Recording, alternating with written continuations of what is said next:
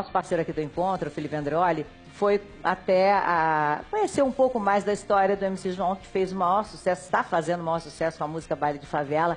E aí ele foi conhecer a Vila Maria, na zona norte de São Paulo, onde o João mora, e acabou conhecendo alguns dos seus amigos também nessa, nessa visita. Vamos Foi. ver. A gente tá aqui numa casa da Zona Norte, que é o sonho de todo funkeiro aqui de São Paulo, é? Quem tá aqui com a gente hoje é MC João. Pá, pá, pá, pá, baile de favela. Invasão é baile de favela. Quando vê a pessoa fazendo sucesso, alguém fazendo sucesso, fala, ah, o cara deu sorte, lá, fez uma música e emplacou. Não foi bem assim, né? Teve um amigo seu do colégio que ficava pesando na sua, tipo, man, você tem que virar MC, virar MC. Isso aí, o menor da VG. Às vezes chegava, jogava mochila ali e ficava rimando, tá ligado?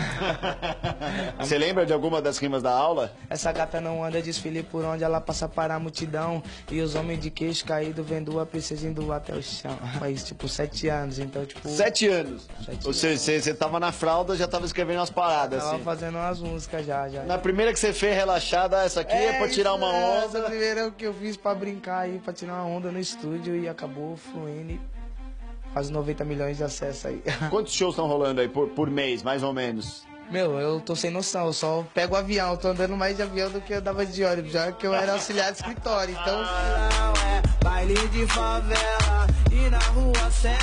Vai aproveitar hoje que você tá com a gente mesmo, então vamos bater uma bolinha. Vamos, Nossa senhora! vamos ver se esses funkeiros são bons de bola mesmo ou só são bons de rima, velho. Aí, ó, mas esse mostrou habilidade. Ô, João, você falou que, em definitivo, quando você partiu pro funk foi justamente quando seu pai morreu.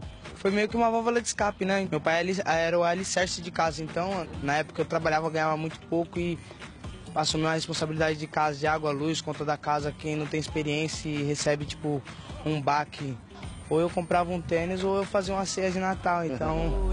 Em pé, baile de favela, que a Marconi é baile de favela, e a São Rafael é baile de favela, e os menor preparados.